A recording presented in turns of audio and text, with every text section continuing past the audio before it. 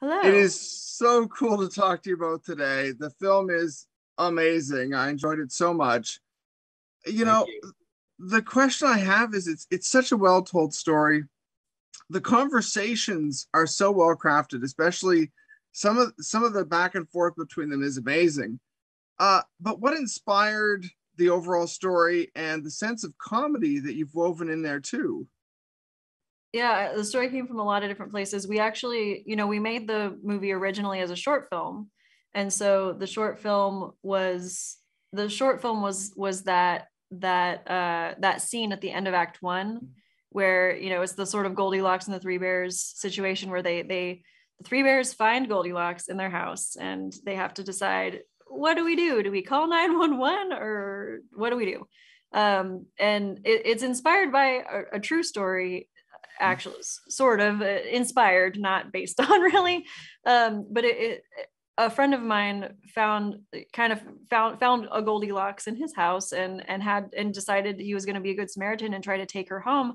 And then she passed out in his car and he's like i have i am a brown man with a an unconscious white woman stranger in my car and this doesn't look good. And he's driving he's driving through a part of town where cops are like kind of notorious for pulling people over for just no reason really. Um so yeah i mean it, it's the question of like when you are a person of color in america you have this burden of having to anticipate like how am i being perceived? How does this situation look? Do i look like a threat right now? Is there anything i can do to mitigate looking like a threat? And often the answer is no um and yeah yeah my family is mexican american i'm from los angeles. This is a conversation that like my family members have all the time.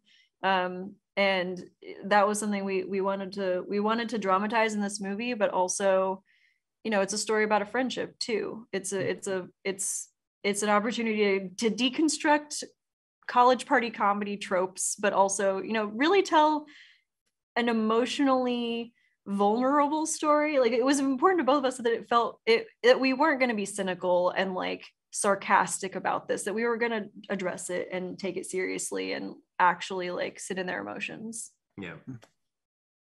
yeah in terms of direction, you know, working with this script and then these these amazing guys who just they it feels like they just run with this story. Uh what what did they bring to it for you as a director and, and how did you work with them on this?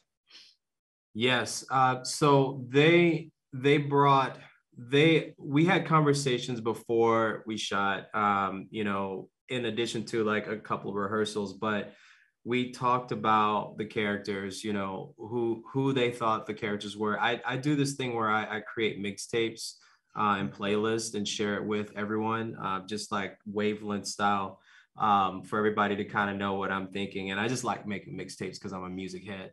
But um, I asked uh, RJ and Donald to give me mixtapes back of who, what you think uh, they listen to.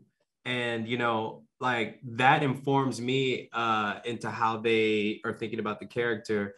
And Donald did this thing too, where he like had stuff that was on his mixtape that he felt Sean listened to that he because he looks up to Sean, you know what I mean? So it's like this mixture of like some, you know, things that don't quite match up, but it's like because of the influence. So um they brought they brought so much to these roles, like they really like did their their work and they there's bits of both these characters in them, you know. Um and they brought that uh to to the roles and and I a lot of times just got out of their way, you know, when we're shooting because they knew what movie we were making. They kept it very grounded.